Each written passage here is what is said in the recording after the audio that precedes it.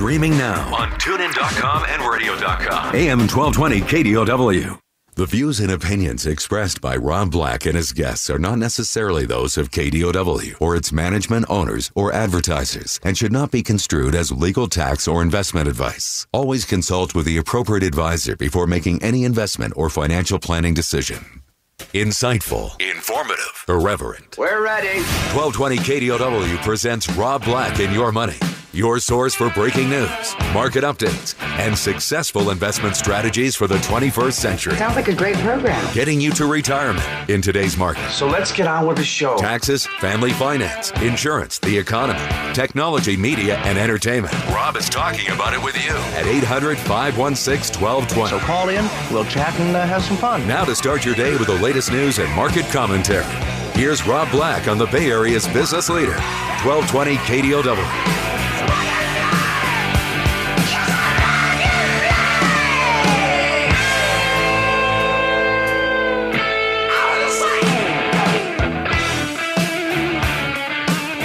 Why, hello there. It's Rob Black and your money. Again. It's been very weird in a year that I should take a lot of days off. I haven't because I think it's actually been more dramatic than most years. And therefore, I'm kind of excited to wake up each and every day and do this show for you. Anything that you want to talk about, we can talk about money, investing, and more. Don't be shy. That's the trick of investing, and it's the trick of getting wealthy.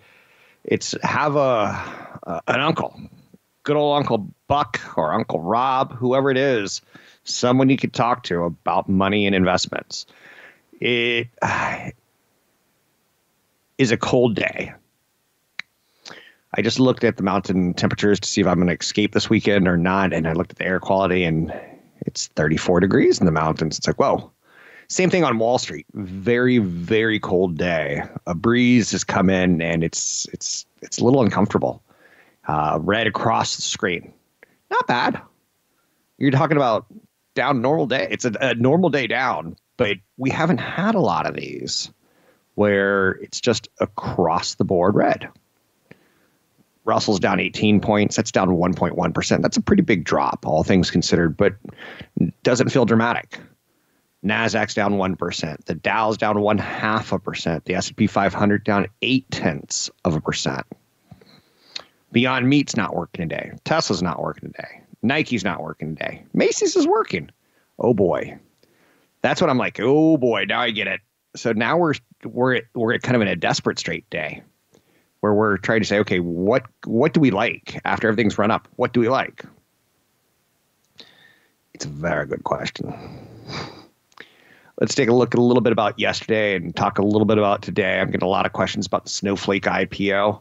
Snowflake IPO yesterday was insanely good. The stock priced at 120, but first trade went off at 245.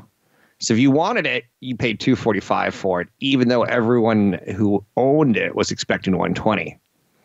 Everyone who owns shares of Snowflake before it was publicly traded is insanely rich. It has done insanely well. So it opens at 245. It goes as high as 319. It goes from 120 expected. Hey, I'm going to put a bid in for 100 one share at $120 or two shares at $240.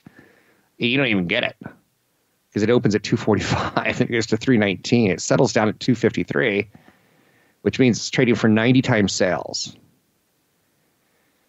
And that's assuming its 2021 revenue more than doubles from its current annualized rate. The funny thing about this is you're like, okay, I don't get it, Rob. Like, why are you making a big deal out of it? Is the company left a ton of money on the table. They sold shares at 120. So it opened at 245. It, it's it's insane. Um, the downside for market is the IPO got so hot that it jumped off the page as a sign of irrational exuberance to me. Uh, that's not supposed to happen. It's not supposed to play out like that. The pricing is is broken. The investment bankers who robbled, and I have this this thing in my head that robbling is when people get together and they go robble, robble, robble, robble, robble. They get together and they talk, they grumble, they they they bemoan things, they they have angst. So when we saw that, it's just like, okay, people in the stock market are stupid. I think I better sell some of my normal stocks. There's a little bit of that going on. Um, the reaction to the Treasury market yesterday, or the reaction to the Fed, they didn't give us what we wanted.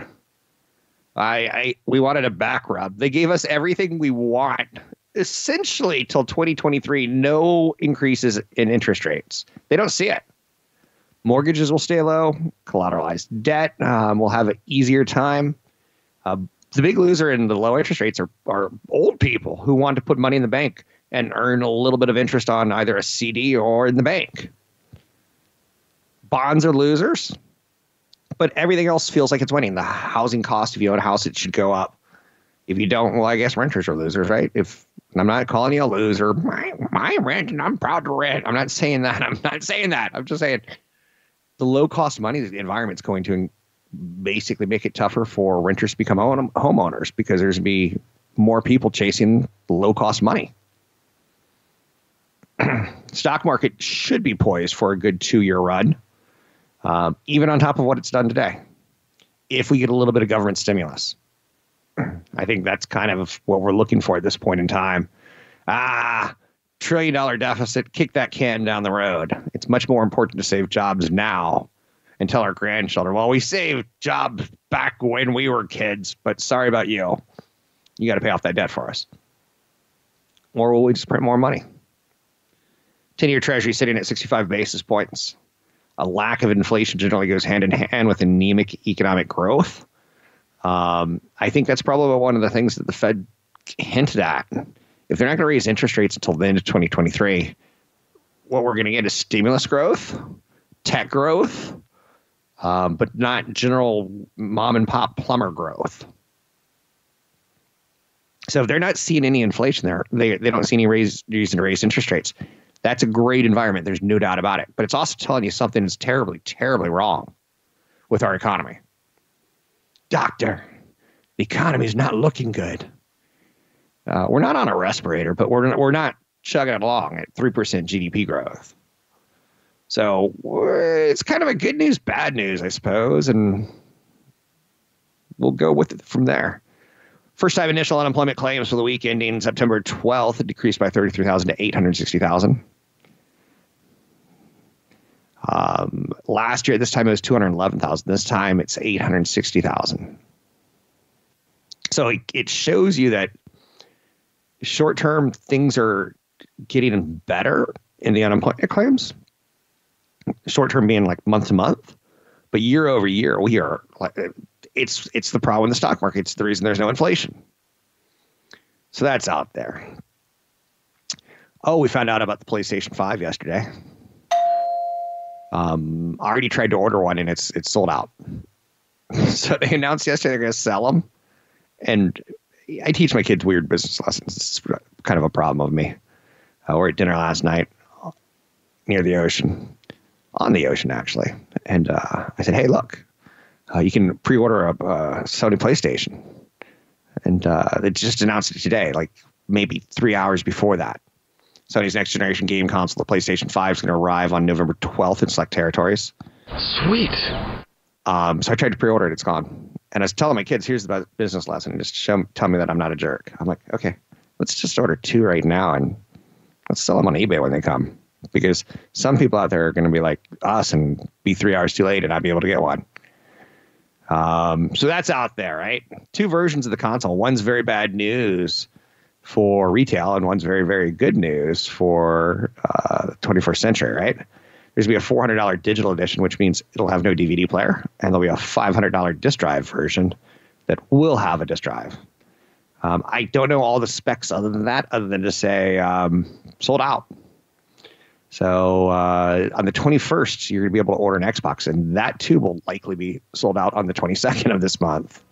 Because that's how it rolls. 800 516 1220 to get your calls on the air. Anything that you want to talk about, we can talk about money, investing, and more. Don't be shy today. I sometimes need your help. Drop me an email, rob at robblackshow.com. It's rob at robblackshow.com.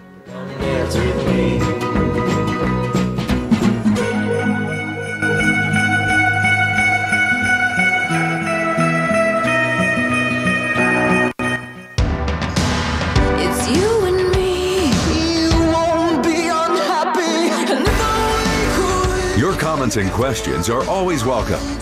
Visit Rob Black online at robblack.com. Now, back to Rob Black and your money on AM 1220 KDOW. Be running out that building. This was one of my favorite songs when I was in high school. I bring it up because it's been remade.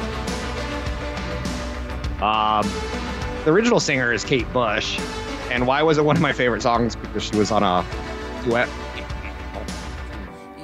on his album. So, um, Peter Gabriel was a little bit of a maverick.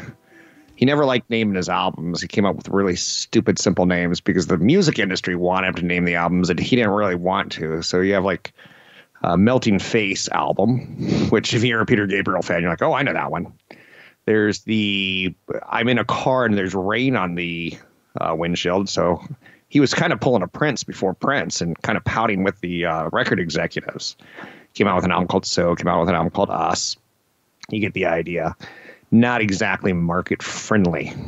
Um, if you could tune a fish, you could tune a piano, but you can't tune a fish. Like, it's not that fun, right? But Kate Bush also was a witch. That always fascinated me because this is pre-internet days where the internet would have had fun with that, but no, she wouldn't fly in airplanes. Weird, right? There's people like that out there. Trump, President Trump, said he's open to more stimulus spending for pandemic relief and stalled talks with congressional Democrats. Uh, this can be one of those things that can move the market. But right now, the market looks tired. Right now, the market looks fatigued. Right now, the market's like, okay, we the market led us through this COVID mess, and it's almost saying, economy, you do something. Come on, economy, show me some good numbers. Uh, the the market's tired, and almost saying, like, come on, President, Congress, you do something. Something that Trump can do is uh, at a press conference Wednesday evening. He said that he liked the larger numbers in a compromise $1.5 trillion stimulus proposal from bipartisan group of House lawmaker House lawmakers. Um, there's been a deadlock as we get closer to the election and finger pointing or acceptance of guilt is happening with the coronavirus pandemic. So they're they're pointing fingers at each other. I guess, oh, you do it. No, no, no, no. It's your fault. We want to win the election. No, no, no, no. You want to win the election kind of thing. They're not working together. It's very, very dysfunctional right now. I won. I won. So Trump said of the plan, I agree with it a lot. I heard Nancy Pelosi say she doesn't want to leave until we have an agreement. She's come a long way. So even the let's do this together mentality, it's still a lot of finger pointing, which is okay. And I get it. You get it. But we look like um, at the end of July, there was a trillion dollar stimulus floated. Then there was a $650 billion economic aid floated. Now we're up to one and a half trillion. What? What? You started a trillion, you go down to 650 billion, and then you go up to what? Because like you're trying to find something that works. Whoops, we went the wrong direction. We want bigger, not smaller. So essentially, everyone's going to get what they want, is my assumption. Democrats are going to get what they want. They're going to go back to their people and say, "Hey, look, look, we got what you needed for us. Vote me." And the Republicans are going to go back to their constituents and say, "We got what you needed. Vote me." Uh, it's, it's pretty big stimulus, if it's to be believed. I used to say that the government will always get it done, that they're just stalling there, they're hedging and hawing. But this time, uh, they, they, they feel a little bit more angry with each other. But again, I wouldn't be surprised if it gets done. So that's a little bit of a positive down the road, maybe. Um, Peloton versus Apple. I started working on a, a, a longer piece in my head on Peloton versus Apple because Peloton said this week that 20 million households are interested in purchasing one or one or more of its products at current prices. They did a little research, and Apple came out with Apple Fitness, which is going to be a subscription workout thing. And I looked at that yesterday because I'm trying to figure out who's the winner here, if there's a winner, or if Peloton could be acquired. What would that would what would that look like? Um, the Peloton stock's up 190 percent this year. Gym closures uh, have pushed people to want to exercise at home more so than ever. And if you were spending money on an expensive gym membership, maybe you should be spending that money on an app. And both Peloton and Apple have you know good-looking instructors, fit instructors screaming at us in apps now. Apple just started this week. That's their angle. And they're going to try to bundle it with their watch. They're going to try to bundle it with a new phone. Apple's got a lot of advantages. Um, with that said, Peloton is uh, it's a favorite stock right now. It's a it's a most favored, most loved kind of vehicle. People like it. One analyst said Peloton is among his firm's favorite growth ideas. He argued, despite the stock's recent run up, the market is underestimating potential benefits from the company's new Peloton Bike Plus. COVID 19 has clearly given a tailwind to the business. Uh, an analyst, Raymond James, says he's rooted his outperform rating on the stock, saying aside from COVID 19, the company is seeing fast growth amongst users 25 to 34 and those with income of less than 100,000. Wow. You're talking about a $2,000, $3,000 bike. People under making under 100,000 are saying, ah, I can put money in my 401k or I can get a Peloton. Or I'm not going on vacation this year, so I can get a Peloton. I'm not quite sure how that's playing out, but that's the idea. So Peloton released a little bit more research. Nearly half of fitness-minded adults are going to cancel their gym memberships, with 90% of users responding that they're interested in connected fitness. If you haven't used a Peloton, you could actually be in a class with other people. You could actually start at 10 and you could actually see their statistics versus your statistics and you could try to beat them. There's kind of a, a social networking thing going on there. Um, okay. But Apple's decision to introduce Fitness Plus, it's going to be offer nine ninety nine, comparable with Peloton's twelve ninety nine membership. That doesn't connect any equipment, illustrates the attractiveness of home fitness. Um, so I th- think we're expecting this to be a trend now. Uh, I've heard CFP Chad Burton talk about saunas and gym equipment and turn his kids' rooms into gyms and stuff like that. Home fitness is a trend. Staying away from the gym. I, I I got turned off to 24 hour fitness years ago when I went to a gym and tried to shower after a, a workout. And it was just the most disgusting experience of my life. I was like, are we living in a war zone? Why is there so much hair in the sink? Um, you get the idea, right? Oh, behave. I know, I know, I know. um, so Fitness Plus is don't underestimate it. That's what I'm going to tell you. And there's some competitors to Peloton out there, and don't don't think not of Apple as going after more hardware sales and more software sales and more subscriptions. Um, because the margins on a Peloton are very, very attractive. People are paying a premium. And I would say Peloton needs to keep an eyeball out. They need to watch good old Apple to see if they're going to integrate vertically into that industry. I'm Rob Black, talking all things financial. Find me online at robblackshow.com. My pride still feels the sting. You were my everything. Someday I'll a love like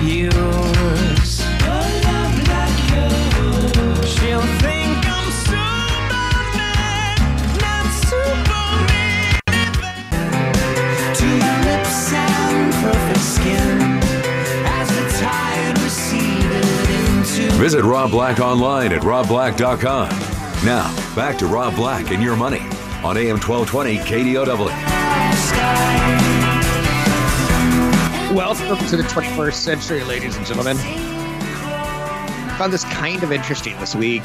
I kind of surprised myself with two new data points to look at. Tesla stock moved on news that uh, downloads of their Tesla app were spiking.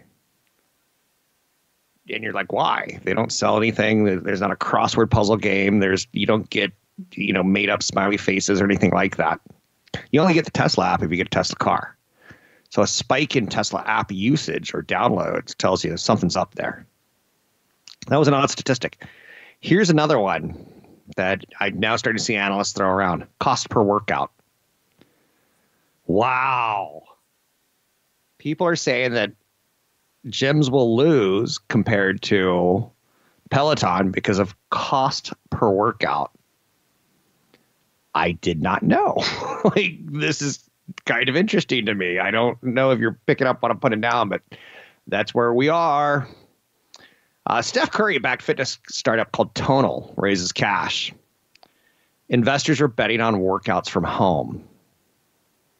Tonal raised $110 million after seeing surge in demand for its at home strength training machines during the pandemic. You might have been on Facebook in the last couple years, and maybe you've Googled Peloton, and Facebook knows that, and they're following you and they're tracking you, and Facebook serves up an ad for what looks like a mirror, but it's really a big video screen mounted to the wall, and it has some, how shall we say, gym equipment bolted onto it. Um, okay, okay, I'm kind of. Yeah, you're saying, is this going to be? Is this going to be the next Peloton? This is going to be the next Peloton. Now the question is, Amazon also has what's called the Amazon Alexa Fund, which invests in startups. They got Steph Curry, they got a professional golfer, Michelle Wie, and they're all using the the, the tonal T O N A L. Again, it's a big system that you screw into a wall. Kind of looks like a mirror. Ooh, you get the idea. Um, but Apple's getting into space, Tonal's getting into space, Peloton's getting into space. We're talking about cost per workout now. Steph Curry is an endorser. Tonal executives didn't disclose the valuation, but they pulled in another 110 million in funding. Um, it's going to be a play. They got Paul George of the LA Clippers, Bobby Wagner of the Seattle Seahawks, just putting their name on it. Hey, I'm Paul George of the Los Angeles Clippers. We just had one of the most historic collapses ever. I didn't score one point in the fourth quarter. I hope Rob Black didn't bet on me because I'm a loser. Thank you very much for the impression of Paul George. I worked on that for hours yesterday. I accept the Academy. No, no, no. So, again, what other players are there in exercise? Lululemon? I think so. Lululemon is buying a company called Mirror for $500 million. Same thing, mounts to the wall. You can watch workouts during the day and look at yourself beautifully during the night. Um, Apple is going after the fitness platform, but they're going to tie it to all their hardware iPhones, iPads, Apple TV, Apple Watch, everything. Um, which seems a little unfair when you think, like, we've seen this before. Um, companies that try to get into a space in a unique way kind of get nudged out by the, the let's get it to everyone mentality. Even if all the gyms in the whole world reopened at 100% capacity, people just aren't going to snap back and go, I'm going to go to the gym. Um, I wonder how much of the tonal equipment, Lululemon equipment, Mirror, Peloton equipment, we're going to be able to buy uh, at yard sales in the future and again, essentially all it is is workout gear tied towards uh, an iPad, right? It's an iPad has people in it who are filmed professionally, and it's like having a yoga teacher do some of the best yoga in the world with you, and she's up on the you know a mountain practicing Buddhism and stuff, and that's way better than going to San Mateo. Way better. So Steph Curry, Bay Area legend, seems like a sweet man too, huh? I don't know if that's marketing. I don't know what that is, but uh, wow, I wish he could endorse me, kind of thing, because he reigns on nice. He reigns on niceness parades, kind of like I'm Steph Curry. I'm super nice. He said in a press release he relied on it heavily, tonal equipment to maintain strength training. He says tonal is quote revolutionizing how people will work out now and in the future. He's also not telling you how much money he's getting on it, right? Serena Williams is an endorser. Klay Thompson, Tony Gonzalez, Rudy Gay of the San Antonio Spurs, Kyle Rudolph of the Minnesota Vikings, Deborah Norville. No, not Deborah Norville. Um, that's my Hollywood, access Hollywood kind of mentality. Sorry.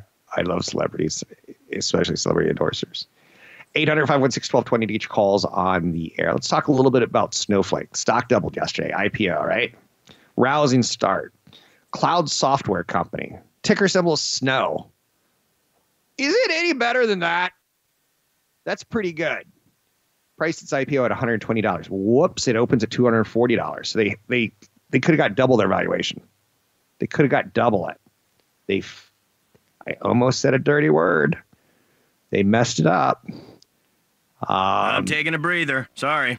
Snowflake's worth $68 billion on its first day. It's 110 times sales. It's more expensive than Zoom video.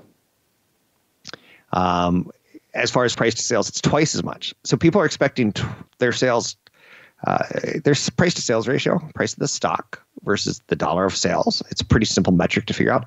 Wall Street's fascinated with price to sales, price to earnings, price to um, uh, equity to debt, debt, debt, debt to equity.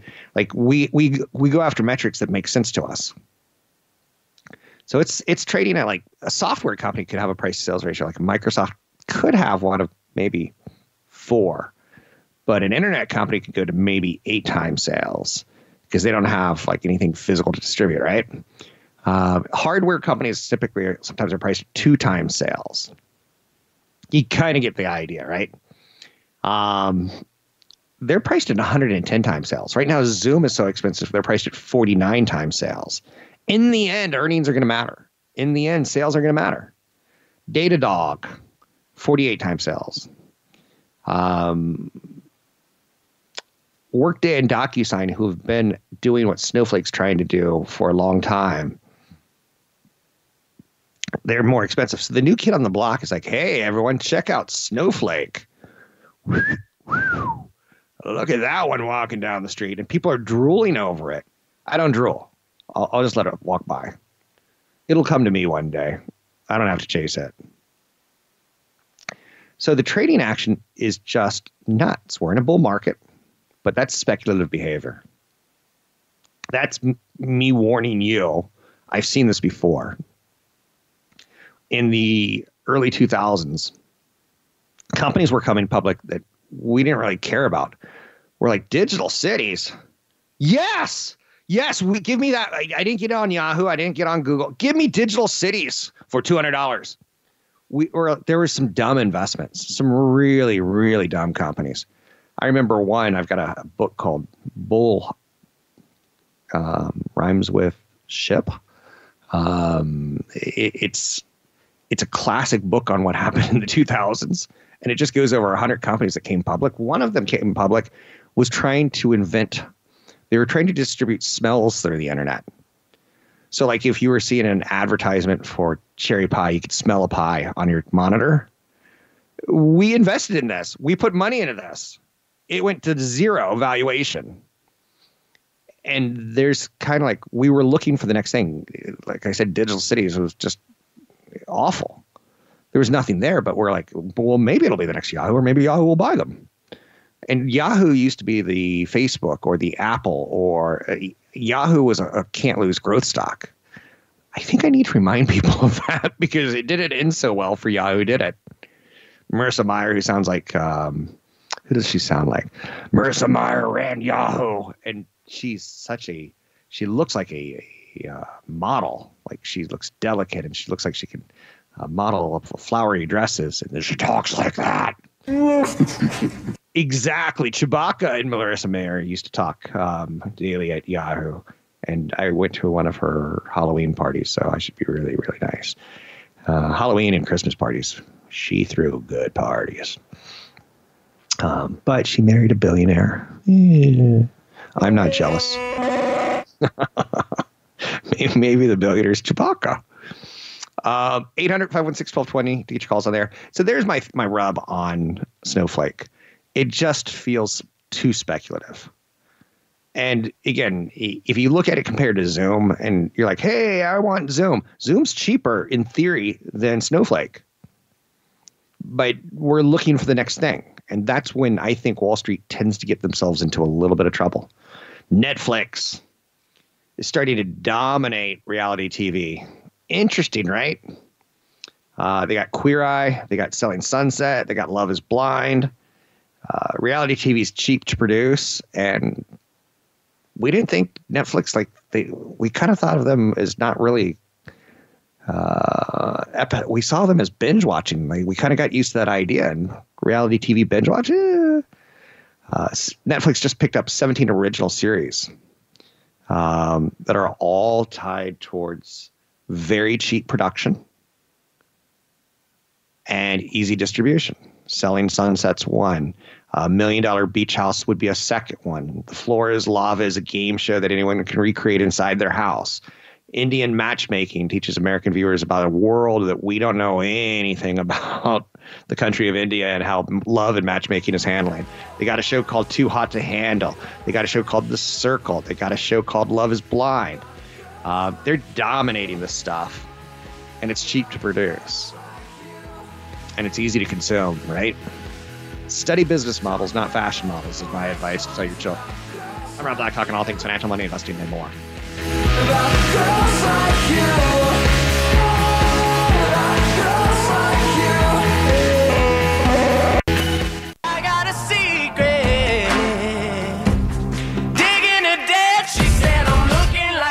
Your comments and questions are always welcome. Visit Rob Black online at robblack.com. Now, back to Rob Black and your money on AM 1220 KDOW.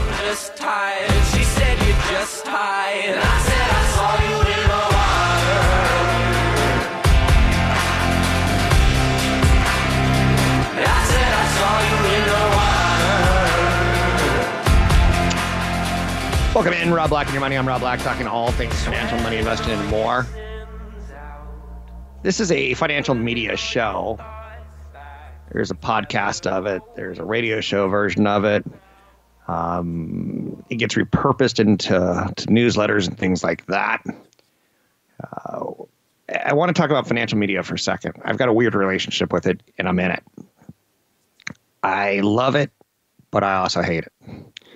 I used to say something along the lines, and you'll get the analogy, just don't get mad at me. I used to say CNBC is like financial porn, where it's a lot of good looking people on the TV and like you get some satisfaction out of it. But in the end, was it love? Did, did you learn anything? Is there a connection? There's really not. So one of the areas that I've I've read in the past that I think is better than CNBC, I'd say Bloomberg is better than CNBC. I would say Barron's is better than CNBC. But then is Barron's better than Bloomberg? And that's where you start getting into this is a mess. Um, I've read Barron's since 1995. Um, every weekend, it, it came out back in the day where you would go on Saturday morning to pick up a cup of coffee at Starbucks or something, and there you'd grab a Barron's, go home, drink your coffee, and read Barron's. I used to get so silly that I'd read Barron's in the bathtub. I mean, I loved financial media. I loved consuming it in every way, shape. Don't get me wrong. I've got some research reports from the 90s that are, still in my office. Like I've got a research report on on Apple when it was at six dollars. I have a research report on AOL. AOL. Like whoa, times have changed, right? So Barron's is a, a religious read for me, and to this day I still like it, but it, it spooks me a little bit more. Uh, most newspapers and magazines talk about what is going on now and not what's going to happen in the future. Barron's tries to look into the future. It's a financial publication platform that's trying to be uh, predictive, or you could say predicative, if you would rather. Um, or is it trying to drive clicks? Or is it trying to drive, you know, Rob bought a paper edition but now he's got the digital edition. People complain about the media all the time. I'm not doing anything new. The clickbait works. And like the next Apple or the next Peloton. Um, I try to, to steer away from that kind of reporting. Um, I've gotten more emails this week about Snowflake than I should have. I've gotten more emails about hot IPOs than I should have. Why? Because it's all clickbait you're seeing something like, hey, hot IPO, hot off the presses. I like briefing.com's approach to IPOs. They, they do it, they do a nice job. But the, what they do is they grade them before they come out. Like, oh, this one only looks like a D, or this one looks kind of like an AA plus. and they they still go out of their way to say we don't know what the price is going to be. We don't know if anyone's going to double it on the, the open. The media inadvertently ends up marking the top of markets. Everyone knows this. Um, it's the magazine cover indicator. There's different indicators that we all look at, um, like the Sports Illustrated jinx or the EA Madden jinx. You don't want to be on the cover of EA because that's probably your last career year, um, as far as Madden sports goes. And same thing with Sports Illustrated. By the time Sports Illustrated gets around to putting an athlete on its cover, it's it's typically everyone already knows them and everyone already loves them and they're just trying to sell you know hey everyone knows them. So they'll pick up this edition. They'll pick up this um, this copy so to speak. Now the economist is counter. They go completely negative which again i kind of love. Um, the economist to me makes me think we're all it's just doom and gloom as far as the magazine goes. It's the end of the stock market as we know it. That's their type of headline um, Barron's is a little bit more cognizant of of being positive because in the end it has worked out well. The markets go up seven out of ten years. Um, but where do we go from here? Be careful with your financial media. Uh, and I guess that's to be fair. To be fair, be careful with all your media. Having worked in news on the television side, I can tell you there's some reporters that are really, really smart but I can also tell you there's some reporters that are not really, really smart anchors who don't really know anything about the news. Um, and you would expect that, right?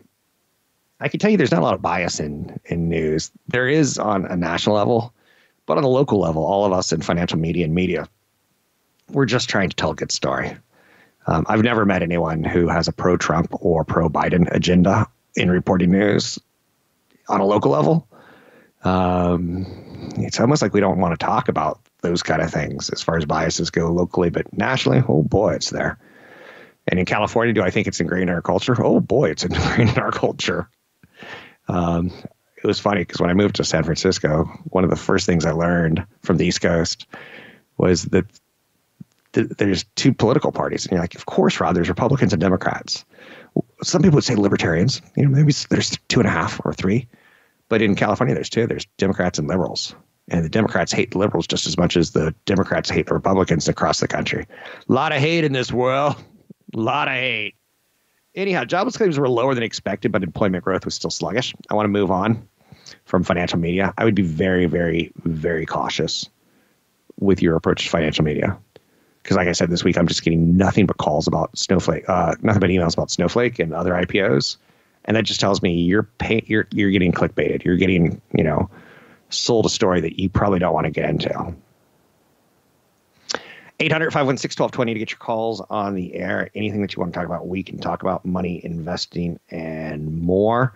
The jobless claims are lower than expected. It's still a really, really high number year over year.